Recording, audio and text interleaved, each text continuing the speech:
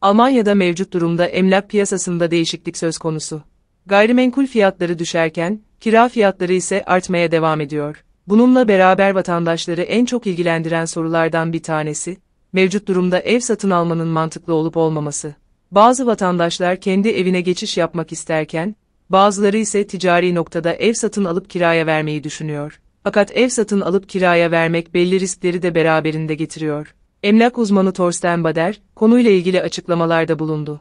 Bader, bu dönemin alıcılar için kar noktasında ilgi çekici olduğunu belirtirken, ancak herkes kar elde etmeyebilir. Düşünmeden alınan kararlar pahalıya mal olabilir. Kabul edilmelidir ki, şu anda emlak piyasasına bakanlar çok karmaşık bir tablo görüyorlar. Örneğin geçen yılın aynı dönemine göre A sınıfı bölgelerdeki gayrimenkul fiyatları, %6 oranından fazla düşüş yaşadı, diye kaydetti. Fakat aynı zamanda söz konusu A sınıfı ve çevre bölgelerdeki kiralarla ilgili olumlu gelişmeler de yaşandığını belirten Torsten Bader, buralarda kiralar ise neredeyse %8 oranında arttı. Yeni kiralamalarda hala %3 ila 5 oranında artışlar söz konusu, diye ekledi. Alman uzman, her halükarda pasif kalmamanın ve özellikle fiyatların daha da düşeceğini beklememenin önemine değindi.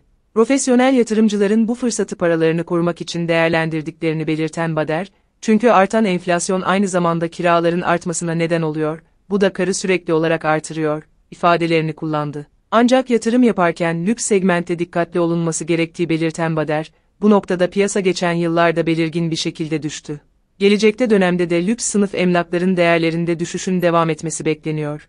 Buna karşılık, geniş bir müşteri tabanı olan orta gelir seviyelerindeki işçi ve memur sınıfına hitap eden konutlar ise çok daha karlı, diye konuştu. Bu segmentte ise önümüzdeki yıllarda değer artışı ve kira gelirlerinde yükseliş bekleniyor. Sonuç olarak emlak piyasası şu anda hem büyük fırsatlar hem de riskler sunuyor. Bir mülk satın almadan önce mutlaka dikkatli bir piyasa analizi ve üzerine düşünülmüş bir yatırım stratejisi oluşturulması gerek. Uzmanlar, emlakların hala güvenli ve cazip bir yatırım olarak kabul edildiğini ifade ediyor. Korona krizi, hızla artan enflasyon ve yüksek enerji maliyetleri sonrasında piyasanın an itibariyle bir ivme yakaladığını belirten uzmanlar, yatırımcı ve emlakçılara bu fırsatı değerlendirme tavsiyesinde